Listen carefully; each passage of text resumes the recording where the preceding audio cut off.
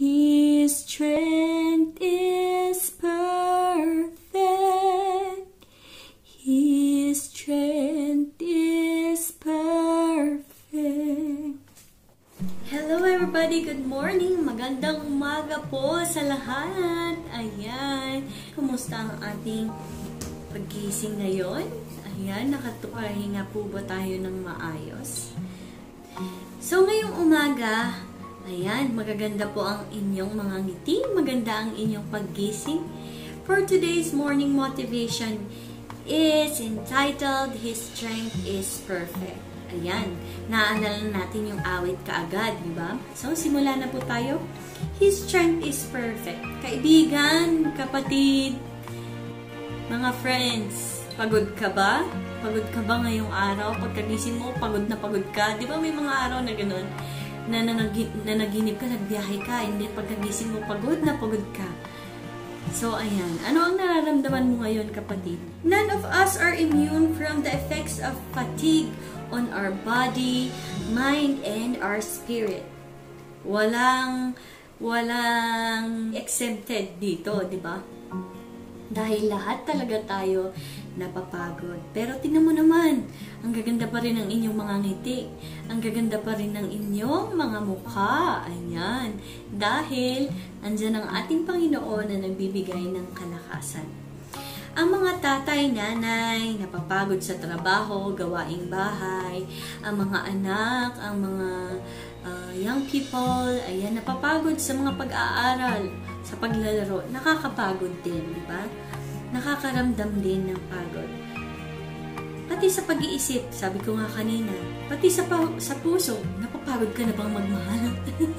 pati puso napapagod talaga, talaga bang nagmamahal? Sana naman hindi. Kung ikaw yan, huwag kang mapagod magmahal, kapatid. Moses in the Bible experienced fatigue also. Kaya hindi lang ikaw, hindi lang ako ang nakaramdam ng pagod. He is one of the greatest leaders in the history of humankind. He, but he became so exasperated from the grumblings of the Israelites. Mababasa natin yan sa Numbers 22.13. Kung ikaw nga naman ay isang leader, ayan, sa isang group, Kapag lagi kang naririnig na nagre-reklamo, di ba nakakapagod din yun? Kahit yung reklamo, alam mo na nagre-reklamo yung tao na yun dahil pagod na pagod siya. Gaya na, na nagre-reklamo sila, naghihintay in the wilderness for 40 years, di ba? Ikaw nga naman, di ba, na leader ka, maririnig mo yan na nagre-reklamo, ay, tagal naman, kailan naman natin ma-reach ng the land of promise? O kaya, nasa na ang kasagutan ng Panginoon? O kaya naman nagreklamo yung anak mo na nasa na ang pagkain? Ang tagal mo naman magluto sa nanay. O kaya naman yung kaibigan mo, nagreklamo, ang tagal-tagal mo naman dyan, friend. Kanina ka pa nagpapahintay. So, kapag nakakarinig ka ng mga murmurings o kaya worries, di ba napapagod ka din, nadadamay ka din. So, ganun din si Moses. Isa pang Bible character sa Bible, si Elijah. Elijah was so tired from standing alone for God. Ayan, napagod siya dahil siya lamang ay nagsastand against the false prophet. Kaya kung ikaw ngayon ay nag-iisa, naiisip mo na ako na lang ang lumalaban. Nakakapagod din. So katulad ka ni Elijah.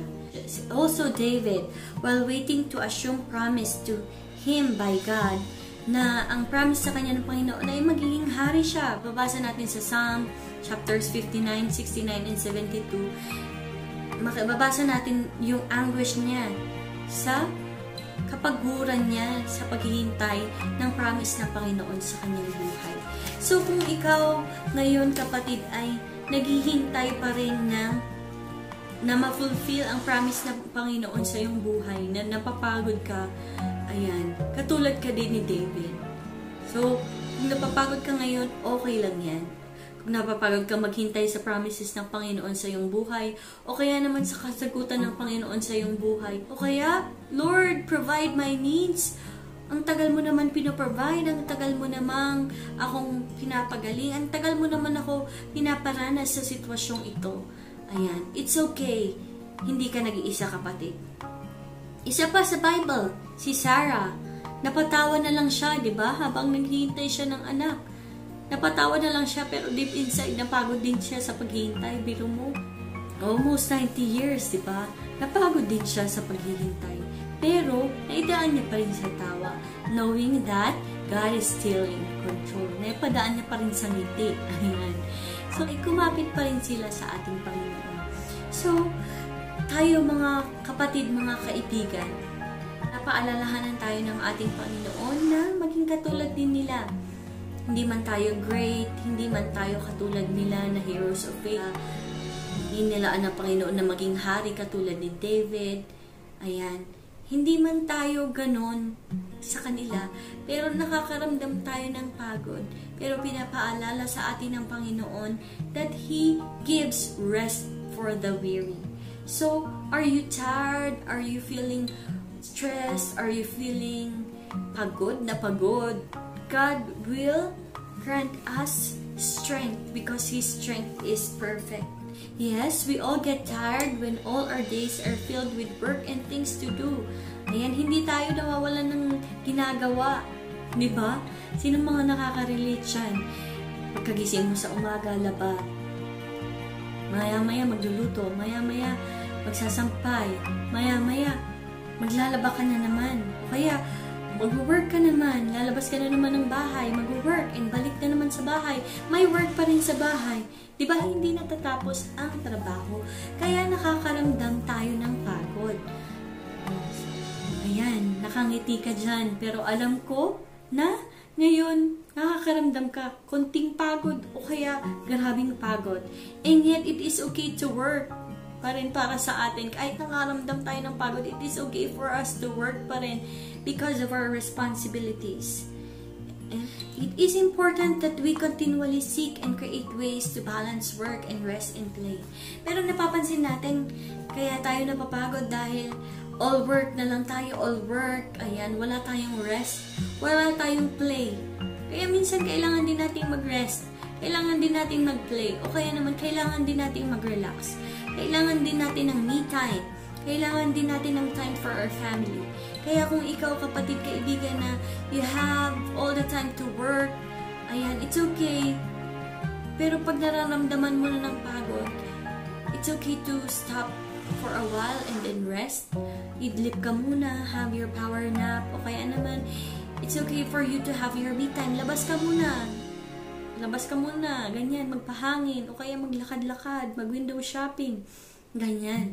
So, for you to be relaxed and for you to be strengthened. We have so many things to do for us not to feel so tired. Pero kung okay lang yan kung wala kang time ngayon, siguro maya-mamaya magkakaroon ka na ng time na makapag-relax. Ayan, so kailangan natin ng balance. So kahit todo na tayo nag-work, todo na tayo, o kaya naman napapagod ka sa todo na lang higa, rest na lang ng rest, tayo ka naman dyan. Tayo ka din at mag-work, di ba? Minsan kasi ganun eh. Yung iba napapagod, hay, napapagod ako dahil lagi na lang ako nakahiga. Lagi na lang ako nandito. Mamaya tulog na lang ako ng tulog dahil napapagod na ako sa tulog. Kaya naman, yung iba, laro na lang ng laro sa cellphone. laro lang ng laro sa cellphone. Hanggat napagod na sa kakalaro. Okay, it's time for you to stop first and relax. And kung todo ka na naglalaro, todo ka na nagre-rest, gawa ka naman ng iba. Magluto ka naman dyan, o kaya naman help ka naman sa chores ng iyong mga parents, o kaya naman makipaglaro ka naman muna sa iyong mga anak, kahit saglit lang Basta maka-stop ka muna sa iyong trabaho, kahit 5 minutes lang. Hinga ka muna ng malalim, stretch, stretch ka muna dyan, o kaya awit-awit ka muna dyan. O yan. O hinga ka muna ng malalim, and then, silip ka muna sa bintana. Ayan.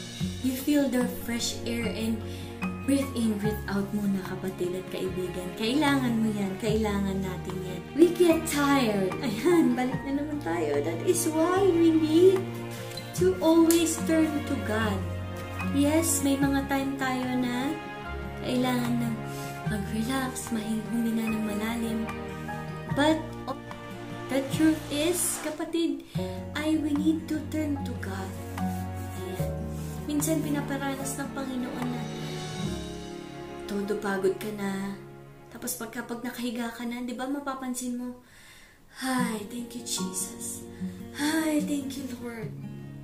Di ba napapansin natin yun? May time yun sa atin na kapag, o kaya naman kapag may sakit ka, doon ka makakapag-pray. Hindi lang yun sa inyo, kundi sa akin din. Di ba? Naranasan ko din yan na minsan todo-todo na, na, na nag-work ka sa kung ano-ano, nakafocus ka sa mga bagay, and then you forgot to turn to God. Makiusap muna sa Panginoon. So ngayon, pinapaalalahanan tayo ng Panginoon to seek Him first Seek Him first in all things. He is our giver of life, giver of strength. Ayan. Strength physical, emotional, mental, spiritual. Kung ano naman ang iyong nararamdaman na kahinaan ngayon, He will give you strength. He will give us strength. When we turn to God, He will bring renewal even to the weariest of spirit. Pag super, super pagod ka na, if we turn to Him, Lord, sabi ko nga nung last, diba? Okay lang na sabi ng Panginoon na, Lord, I am so tired with all these things. Banggitin mo lahat sa ating Panginoon. And then, Lord, talagang pagod na pagod na ako sa mga ito, sa mga bagay nito. It's okay to tell it to Him. Dahil kung, ayan, nabanggit mo na lahat sa Kanya, sabi ko nga din nung last ay, siya mismo ang magpapalakas sa iyo, kapatid. Magpapalakas sa atin. Ayan. Turn to God. And all that we need is trust. When we turn to God, when we give it all to God, let us trust Him, knowing that He loves us and He will minister to us and meet our needs and He will give us strength. That's what He did for Moses, for David, for, Eli for Elijah, for Sarah, for Hannah, and for all the other heroes of faith, and for the, all the other characters in the Bible na napagod minsan. But, ayun, binigyan niya ang bawat isa muli sa sila ng kalakasan. Dahil sila ay nagtiwala sa ating Panginoon. So kapatid, ngayong umaga, naway patuloy tayong kumapit sa ating Panginoon. Let's seek God first. Whatever we do today, let's seek Him first. Let's, kung nakalimutan mong lumapit sa ating Panginoon, stop for a while. Kahit five minutes lang. Let's talk to Him. Let's turn to Him. And let's give Him everything. Ayan. Kung saan tayo napapagod, let's utter it in our prayer. And then, with our trust to Him, knowing that He loves us and He will never forsake us and He knows our needs. We all have days like this. Lord, I am tired. I didn't get a nap. I have laundry to do. And I have clothes to fold and I need to cook for dinner. O naman, Lord, I am tired. I didn't take a nap. I didn't have a good night's sleep. And I need to go to work again. Help, Lord! Where is my rest? Minsan nasasabi na natin yun, di ba? Lord, pagod na ako. Nasaan na ang aking kapaguran? Nasaan na yung tulong? Minsan, kapag, kapag pagod ka na, di ba? Yun pa yung gabi na hindi ka makatulog palalo. Minsan, masasabi pa natin, Lord, I can't do this anymore. Lalo sa mga teachers dyan, nakakakunin, nakakap nakakapagod talagang, lalo sa mga beginners and toddlers ng mga bata, ay, todo kulit yan, todo tanong ng tanong, o kaya naman mamaya may iiyak, mamaya may mag-aaway, mamaya may magre-reklamo. Minsan nakakapagod yung ganun. Pero napapansin niyo ba na sila din mismo yung ginagamit ng ating Panginoon para mawala at mabawasan ng ating pagod. Bakit? Bakit ka mo? Di ba sila mismo yung lalapit sa'yo? Ayun, mamaya aawitan ka. Mamaya, how are you, teacher? Di ba? In small ways, God is using our work. Minsan sa pag sa work, kahit todo pagod ka na sa work, biglang lalapit yung boss mo. Oh, good job. Good job, Joe. Oh, di ba? O kaya naman, sa lahat ng instance na napapagod tayo, doon din mismo ginagamit ng Panginoon na magpalakas sa atin. Minsan, They make you tired and yet God is using them to, for you to have strength for the day. Yeah. Isaiah 40, 29 to 31 says, He gives strength to those who are tired and more power to those who are weak. Even children become tired and need rest, and young people trip and fall. But the people who trust the Lord will become strong again. They will rise up as an eagle in the sky. They will run and not faint. They will not walk and not become tired. Romans 5 3 God will produce in you perseverance. James 1 2 4 God will perfect your character. Ayan. Colossians 1 11 12 God will give you endurance and joy. In Philippians 4.13, God will strengthen you. Kumuhugot tayo ng lakas kanino sa ating Panginoon dahil siya ang nagbibigay ng kalakasan. So today, sana ito ang ating prayer ngayong umaga. Hallelujah. Lord, I come to you with a weary spirit, with a weary heart, with a weary mind, with a weary body. I ask that you renew my strength for me to go on with my days, for me to go on with my work, for me to go on with my responsibility, and for me to face it with a smile, knowing that you are the giver of life and strength and the giver of everything that we need. Grant me, Lord, wisdom today to take care of myself as I take care of my loved ones. I claim and declare that your strength is indeed perfect for our weakness and for our weariness. In Jesus' name, Amen. Let me just pray for each and every one of us today. Hallelujah. I just feel like praying today, this morning, for you, for you kapatid, for you kaibigan, sa ka man nanonood ngayong umaga. Hallelujah. Lord Jesus, maraming salamat Panginoon. Hallelujah sa iyong kabutihan at sa iyong mga salita. Lord, hindi man po namin nasasabi lahat ng aming mga kapaguran kami sa aming isip, sa aming puso, sa aming sa mga matawan, kung saan mang mga bagay, with all the cares of this world, sa amin yun, Panginoon. Lord, katagpuin mo lang bawat isa, ang bawat pangangailangan. Hallelujah, Lord. We ask, I ask, Lord, na ikaw ang magyakap sa bawat isa, na ang iyong, sa iyong pagyakap maramdaman namin ang iyong kalakasan, maramdaman ng bawat isa ang iyong kalakasan, at na we become tired, but you are still there, always giving us strength, always giving us life. Kaya maraming salamat, Panginoon. Ikaw ang magpala sa bawat mga kaibigan ko, Panginoon, at mahal sa buhay, Panginoon. Patuloy kami, Panginoon, na mananalig sa iyo. Continue to teach us, O God, to trust in you to trust in your words, knowing, Lord, that you love us and you will never forsake us. Thank you, Lord, once again for your love. Thank you, Lord, once again for the encouragement today. Thank you, Lord, once again, O God, that we have already felt your loving embrace today and we have already received the strength that cometh from you today. We declare your glory today, O God. We declare your goodness. Thank you, Lord, for the victory and for the favor and for the showers of blessings that comes our way. Maraming salamat, Panginoon. We give you the glory, honor, and praise. In Jesus' name. Jesus' for to end this video, I'm gonna share to you the song His Strength is Perfect. I can do all things through Christ who gives me strength. But sometimes I wonder what He can do great success to show, no glory on